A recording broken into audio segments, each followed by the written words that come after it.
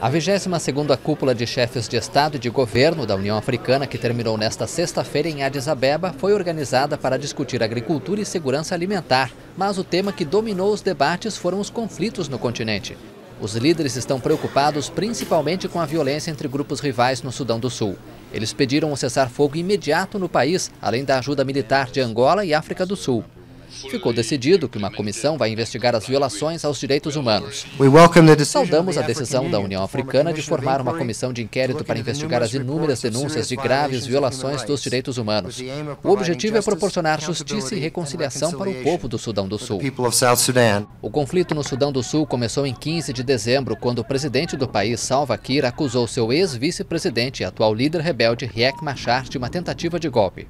Mais de 10 mil pessoas já morreram e pelo menos 335 mil foram deslocadas por causa da violência.